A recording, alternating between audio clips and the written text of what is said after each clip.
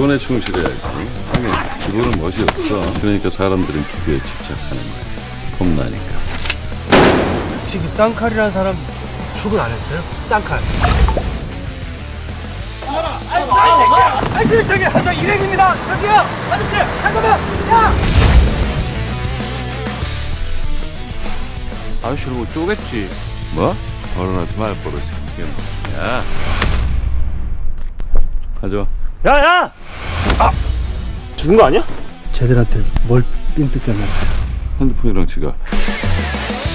한번 한번 먹어봐야 이씨. 아저씨 부자층이에요? 아 몰라 튀어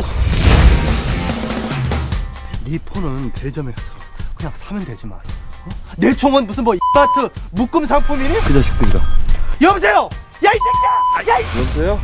어, 아저씨다. 양복 입은 아저씨. 야, 이 새끼야!